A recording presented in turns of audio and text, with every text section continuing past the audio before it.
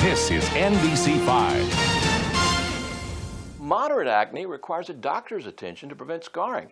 The milder cases are helped with over-the-counter medications. The first step, scrubbing the face with plain old soap and water, since the basic issue is pileup of debris in the skin pores. The very best way to boost soap is to use an astringent. Look for benzoyl peroxide. Now, there are four potential steps to treat acne. Some doctors call that BRZA, we're going to touch two of them today. B is benzoyl peroxide. The next step is the prescription cream Retin-A. Lots of folks think about that as a wrinkle cream, but the vitamin A derivative is extremely potent for acne. It dries and irritates it.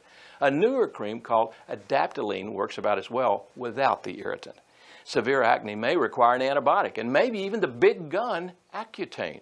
For more information, click on AskDrBob.com. I'm Dr. Bob Lanier.